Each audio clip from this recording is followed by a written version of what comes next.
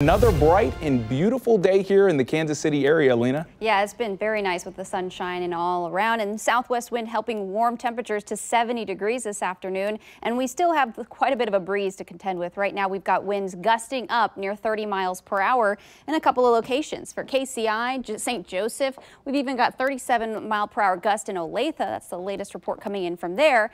I anticipate once the sun sets, the winds should relax a little bit with a steady pace between 10 and maybe near 15 15 miles per hour. So overnight lows not going to get significantly colder tonight. In fact, I think we'll be back in the 40s for many through the overnight hours. As far as wind tomorrow, the increase in wind speed expected, especially after about 9, 10 a.m. I think we'll have 10 to 20 mile per hour sustained wind speeds, but gusts as high as 30 at times. So we're going to bring out the trash can tracker. If your trash has to go out tomorrow, I think you're going to see it probably pushed over a little bit, but it'll still be nearby your house. As you look right here at the uh, forecast wind speed and gusts by midday into the afternoon, that's where we're expecting those stronger gusts between 25 and 30 miles per hour. And again, winding down through the evening. So high temperatures, another day near 70 tomorrow for your Monday afternoon. Warm and breezy, southwest winds between 15 25 miles per hour, gusting up near 30.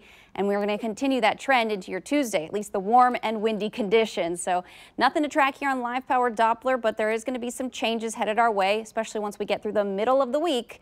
We'll be tracking our next cold front that'll produce a chance for some showers, maybe a couple rumbles of thunder late in the evening Wednesday, and then again on Thursday. This is 9 a.m. I think we're going to see a good chance for some showers, a few rumbles of thunder throughout the day, and then finally that activity winding down through the evening as a cold front is going to push through. But as far as it goes down to our south, I think the front may stall somewhere around the area, which will mean that we're going to see additional chances for rain with that front just near us. So as we head through Thursday, Friday, perhaps even Saturday, I'm looking at some uh, smaller chances for showers.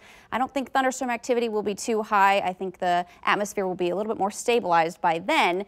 But as this front moves through, it's also going to mean cooler temperatures. So by the time we get into this time next week, certainly going to be a different story. Here it is, our Security Bank seven-day forecast. 70 tomorrow and Tuesday. Bump up a little bit for Wednesday. Weather alerts posted for your Thursday and Friday with those chances for showers. And then it looks like much colder air returns back to reality next weekend. So hopefully you didn't put away those heavy coats, Greg.